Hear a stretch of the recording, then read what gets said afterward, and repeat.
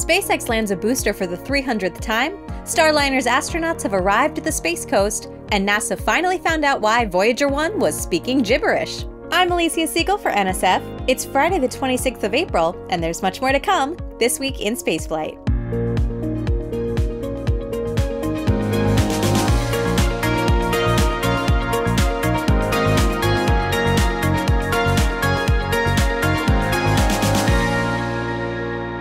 This week, we had six newly qualified astronauts graduating from the European Space Agency following a year of basic astronaut training. One of the six, though, is actually Australian. Australian Space Agency astronaut candidate Katherine Bennell Pegg was selected through a cooperation agreement with ESA and is Australia's first female astronaut. The other five are all European. They are Sophie Adenot from France, Pablo Alvarez Fernandez from Spain, Rosemary Coogan from the UK, Raphael Liégeois from Belgium, and Marco Sieber from Switzerland. These five were selected from 22,500 applicants to join the 17 strong class of 2022 before being selected to complete training with the remaining 12 becoming astronaut reserves. Although Marcus Wandt, one of these astronaut reserves, already flew into space on the Axiom 3 mission earlier this year, so don't think those were completely forgotten. The 12 months of training qualifies the candidates as suitable to undergo long duration space flights for ESA. During the course, they experienced high G centrifuges, zero G flights, and neutral buoyancy spacewalk training in both NASA and ESA's training pools. They were also trained in the scientific methods and equipment used on the ISS to enable them to work on the station. They also took courses on human anatomy and medical techniques, navigation, survival, video and photography, and of course, rocket science. This involved learning about spacecraft systems, flight engineering, robotics, and life support systems to fully equip them for spaceflight. Now that they have their qualification, the astronauts will be assigned to future missions and will begin training on specific specialist aspects for them, building on the knowledge that they've previously gained. It's anticipated that all of them will fly to the ISS at some point, but in the future, some may also fly to the moon or to other commercial space stations in low Earth orbit. This new group of ESA astronauts has been nicknamed the Hoppers, referring to the ambition of these new astronauts to hop in low gravity on the ISS, but also on the moon. You've probably heard that NASA's Voyager 1 spacecraft has had a rough few months. Back on November 14th of last year, the spacecraft suddenly and unexpectedly started to return completely unreadable data. Now, after five months, not only have the teams at NASA's Jet Propulsion Laboratory figured out what happened to it, but they've also started to solve the issue. Once the teams noticed this problem, they quickly moved to figure out what was going on. Very early in the investigation, they discovered that the problem was with the spacecraft's Flight Data Subsystem, or FDS, which is responsible for gathering all of the data from the onboard science instruments and engineering data from the spacecraft itself before sending it back to Earth. The FDS computers in the twin Voyager spacecraft were the very first to use CMOS integrated circuits in space. The next step after finding this out was to try sending various prompts to Voyager 1 and to use any response to attempt to work out where the issue was. This process took careful planning and it was carried out over a duration of many months. Remember, the probe is a very long way from Earth, over 24 billion kilometers away, in fact, so a radio signal takes almost a full day to reach Voyager, and the same time, again, for any response to come back. Eventually, the team was able to persuade the computer to send a complete dump of its memory, and that helped to establish that one of the chips had been damaged in some way on the FDS, causing the data corruption. More intricate design and programming were then carried out to try to bypass the damaged chip, which makes up about 3% of the available memory. Remember, these computers are over 46 years old, and there's very little spare memory space to replace the code stored on the damaged chip. But the team at JPL has had over 50 years of experience with these systems, and was eventually able to work out a solution and then send new commands and code up to Voyager 1. In order to bypass this chip and deal with the memory storage issues, the teams decided to split the new code across different parts of the FDS and adjust the code from those parts to make sure that all still worked as a whole. I guess it's a bit like Tetris, but for software. On April 18th, the team started sending the first package of code that's responsible for packaging Voyager 1's engineering data, enabling them to continue to control the probe out in interstellar space, and it wasn't until April 20th, just a few days ago, that they were able to receive proper data on the spacecraft's health and status. The success of this operation means that the team can now repeat the process to update how scientific data is processed, avoiding the broken chip. But just keep in mind how complicated all of this is nowadays. The two Voyager spacecraft were launched in 1977 with old technology, old code, and old systems, yet it's still kicking and flying. This is a testament to the amazing engineering, both then and now, that we can communicate with a probe that was designed and built 50 years ago, and many of the systems continue to operate and send back data from even more distant locations in interstellar space. The crew for the Starliner crew flight test mission have arrived at the Kennedy Space Center. Not only that, but the mission is now go to proceed with final launch preparations.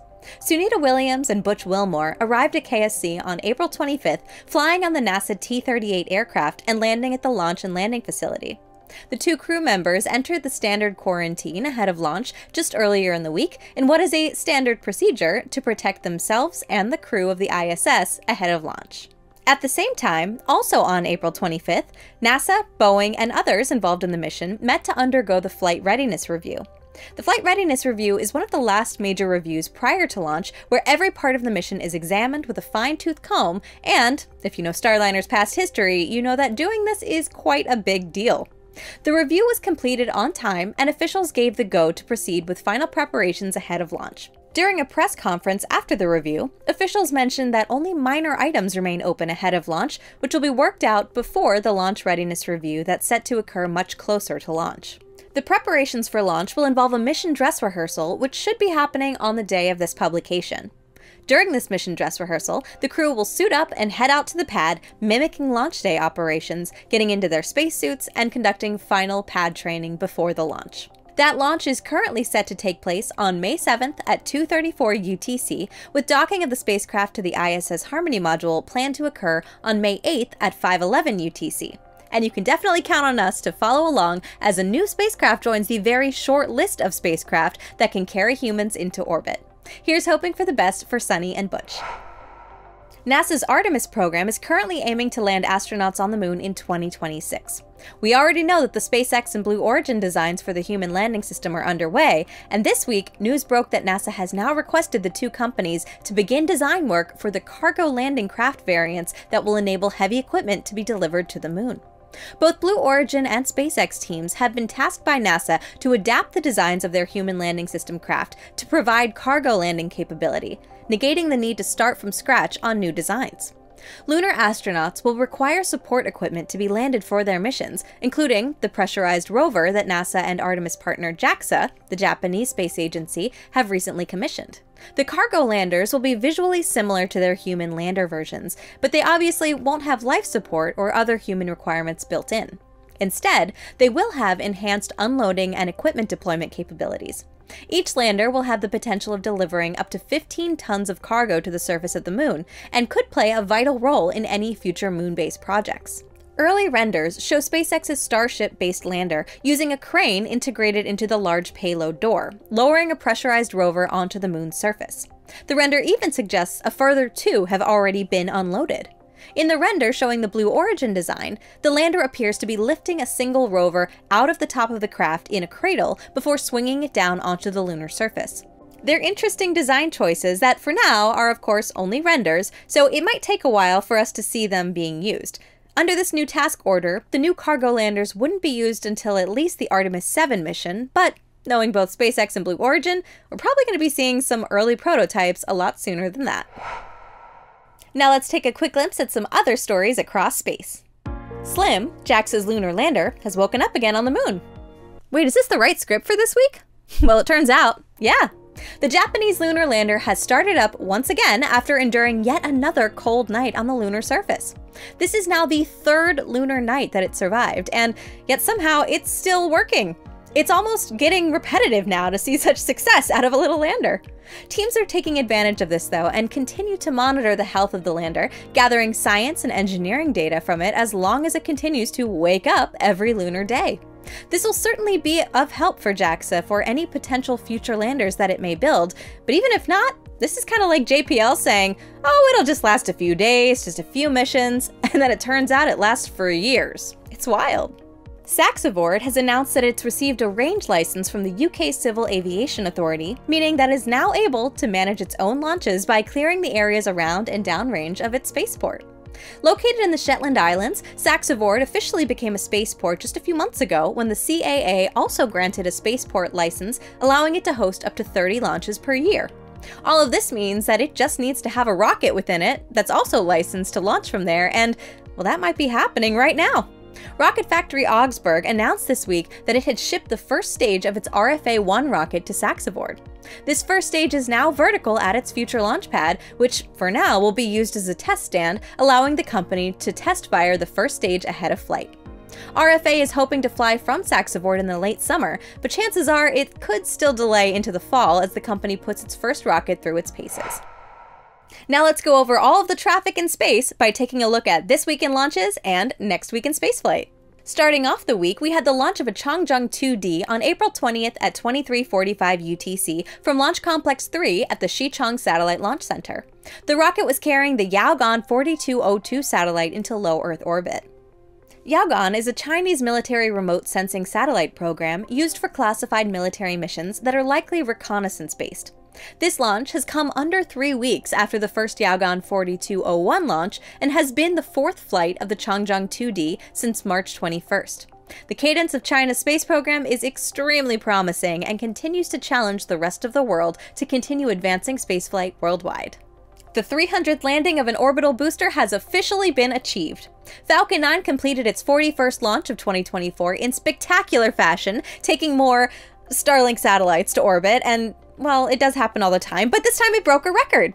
Liftoff took place from Space Launch Complex 40 on April 23rd at 2217 UTC. This mission, Starlink Group 653, was carrying 23 Starlink V2 mini satellites into low Earth orbit. This was B-1078's ninth flight, and it successfully landed on SpaceX's drone ship Just Read the Instructions, completing the 300th successful landing of a Falcon booster. This number counts the landings of Falcon 9 boosters and Falcon Heavy boosters as well. While this was the 300th landing, there were at least another 11 landing attempts that did not go so well, so overall this was actually the 311th landing attempt for a Falcon booster. But when you look at it all, it's actually incredible that only 11 landing attempts have failed. And in fact, SpaceX has had 226 successful booster landings since the last landing failure, all the way back in February 2021.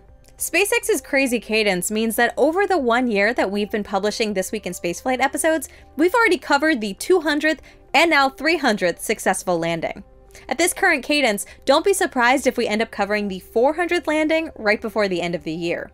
With this launch, SpaceX has now sent 6,281 Starlink satellites into orbit, of which 407 satellites have re entered, and 5,214 are now in their operational orbit. Just 15 minutes after this launch, we had an Electron rocket launching from Rocket Lab's own commercial spaceport in Mahia, New Zealand.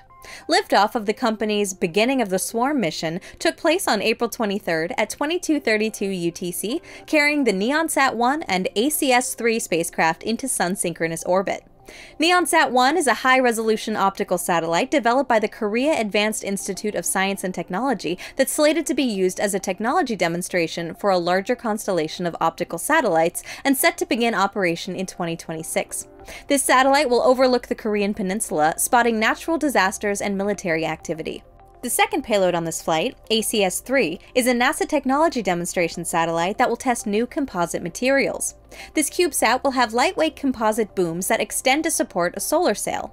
If NASA can confidently prove that using these materials for the sail will work, it could lead to future larger scale designs using similar materials to cut down on non-essential mass. Doing this could increase the efficiency of what could be able to fly on smaller launchers, saving costs for the entire industry. Closing out the week, yesterday we had the launch of another crew rotation mission to the Tiangong space station. Launch of the Shenzhou 18 spacecraft atop its Changzheng 2 FG rocket took place on April 25th at 12:59 UTC from South Launch Site 1 at the Jiuquan Satellite Launch Center. On board Shenzhou 18 was Commander Ye Guangfu, who is making his second trip to space during this mission. His crewmates, Li Cong and Li Guangsu, are rookies, and this is their first flight into space. Shenzhou 18 docked to the nadir docking port of the Tianhe module about four orbits after launch on April 25th at 1932 UTC. The Shenzhou 18 taikonauts will now take over the station from the Shenzhou 17 ones and stay on the orbiting outpost for six months. The crew will be performing dozens of science experiments and are expected to perform between two to three spacewalks to upgrade the station's external systems. Now, going into next week, we'll have the launch of a Falcon 9 rocket carrying a pair of European Galileo Global Positioning satellites. Liftoff is set to take place from Launch Complex 39A within a roughly 30 minute window that opens on April 28th at 34 minutes past midnight UTC. This flight is expected to use veteran booster B 1060 on its 20th flight. It's also expected to be its last flight, as documentation for this mission indicates that this flight will see the booster being expended for it. Also next week, we'll have the return of the SpaceX CRS-30 Dragon spacecraft. This return is subject to weather, which has already delayed it by two days and could still keep it from happening for even a few more. As of recording, undocking of Dragon from the Zenith port of the ISS Harmony module is set to take place on April 28th at 1705 UTC. Deorbit, re-entry, and splashdown of the capsule would then take place several hours later off the coast of Florida. Then from Florida, we'll have the launch of a Falcon 9 carrying another batch of Starlink satellites. The four hour launch window for the Starlink Group 654 mission is set to open on April 28th at 2150 UTC. With the Shenzhou 18 crew now at the Tiangong space station, it's time for the Shenzhou 17 crew to return back to Earth. That return is currently set to happen on April 30th, and while we don't know the exact time for undocking, the landing should take place at 9:40 UTC in the Gobi Desert. It's certainly a space station week because also on April 30th, we'll have the relocation of the Crew 8 Dragon spacecraft on the ISS. The spacecraft is set to undock at 1145 UTC from the front docking port of the Harmony module and redock to the Zenith port less than 45 minutes later at 1228. This relocation will leave the front docking port of the station free for Starliner to dock to it during its crew flight test in a couple of weeks from now. Next week, we'll also be keeping an eye on a Falcon 9 set to launch from the US West Coast. The mission is carrying the first two Worldview satellites for Maxar, but for some reason that hasn't been made public yet, the launch has been delayed several times. It's now expected to take place in the last few days of April during a two hour window set to open at 1830 UTC. Then, opening up the month of May, we'll have another Falcon 9 with another batch of Starlink satellites. The four hour launch window is set to open on May 2nd at 1:43 UTC.